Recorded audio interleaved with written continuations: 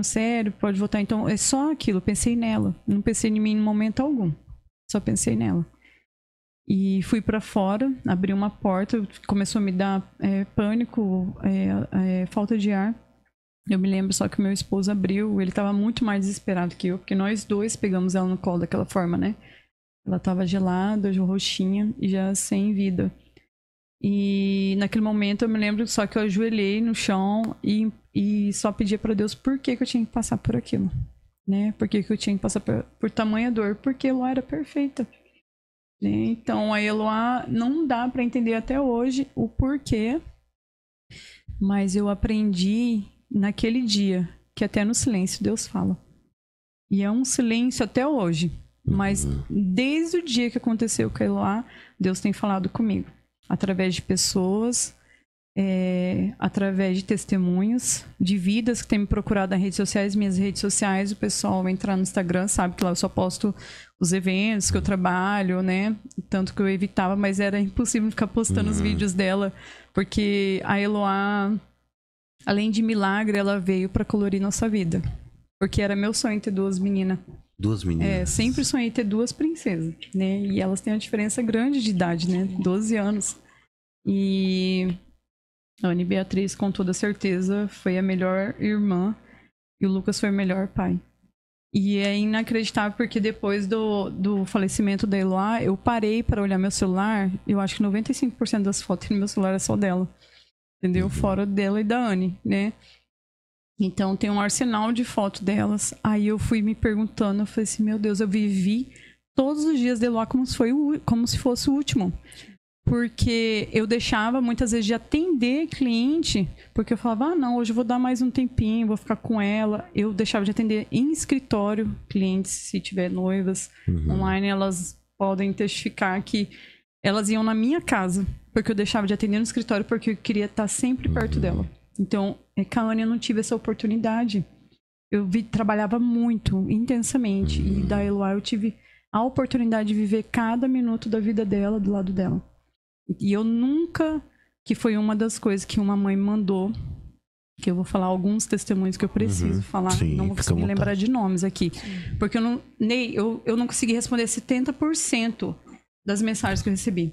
Não consigo. Tanta mensagem, tanta é, pessoas que me procurou falando, Cintia, passei pela mesma dor, estou passando tem um ano e eu não consigo nem sair de casa nem trabalhar.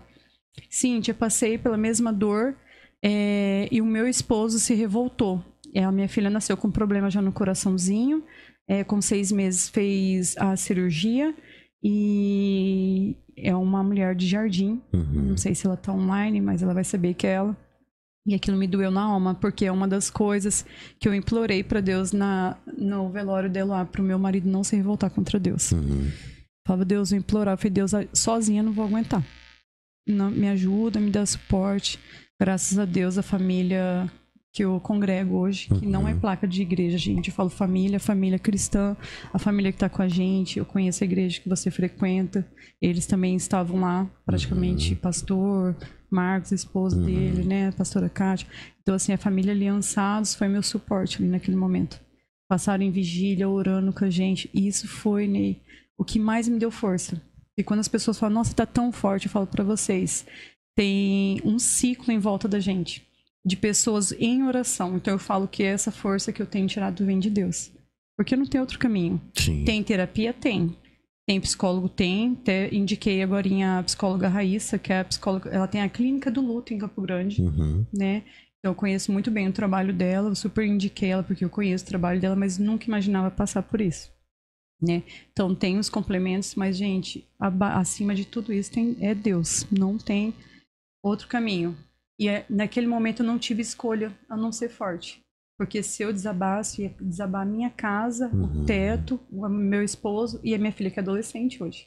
É. Que é uma fase assim, tanto que ontem é, a avó da Anne me ligou, a dona Maria, uhum. me ligou hoje, perdão, e ela falou, foi elogiar, que a Anne tá muito bem na escola, né? Não sei o quê, que os professores só elogiam uhum. ela. E ela falou assim que ela ficou desesperada porque ela saiu do culto e a Anne estava em estado de choque, chorando no quarto. Aí aquilo já me aflige, uhum. né? Daí eu perguntei por quê, o que aconteceu? Porque ontem caiu a ficha dela que ela nunca mais vai ver a filha dela. que a irmã dela, perdão, a irmãzinha dela, né? Então isso para mim que me rebenta, né? Quando eu chego em casa e não vejo. Segunda foi o velório, né? Terça-feira passada, perdão. Na quarta foi o septamento. Na quinta-feira, Lucas e eu, nós fomos tomar um banho em casa. Eu não tinha mais vontade nenhuma de entrar em casa. Eu pedi pro Lucas, pelo amor de Deus, vende a casa, aluga a casa. Eu não vou conseguir.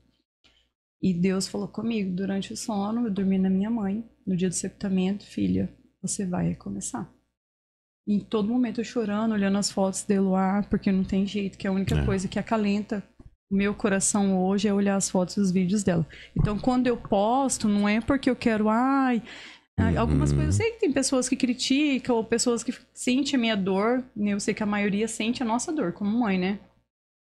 E fala assim, ah, o que, que a Cindy posta tanto? falei, gente, é isso que tem trazido é, é um pouquinho dela para mim. Porque, querendo ou não, foi tirado uhum. um pedaço de mim, né? Com certeza. E, e eu falo assim que não tem sido fácil. Não tem sido fácil, só que assim, quando eu ouço testemunhos, que eu vejo mensagens chegando para mim, né? Falando assim, eu tô sentindo, eu tô sentindo a sua dor. Então, porque eu nunca, em todo o tempo que eu trabalhei, para Pax Real do Brasil, eu nunca vi um velório igual da minha filha. De pessoas, é, de 100% das pessoas estavam lá, 95% tá chorando. E era muita gente, não era pouca. Eu só me dei conta o número de pessoas que tinha, porque eu não conseguia sair de perto dela, nem para ir no banheiro. Eu não queria, não queria todo mundo oferecendo as coisas. Como que as pessoas cuidaram do zelo ali, que eu via que era o cuidado de Deus, né? É, é, é, muitas coroas. Eu fui ler depois, quem mandou para eu agradecer, porque no, no, primeiro dia foi bem difícil ver alguma coisa. Quando eu saí do septamento, eu estava muito fraca, então por um momento ele baixou minha pressão, passei mal. Assim, eu vi o número de pessoas, Ney, só na minha família, deve, é, eu acredito que tinha umas 20 pessoas que nem se falava mais. Então, assim, eu acredito hoje, estou aqui para testificar que a minha filha veio pelo um propósito.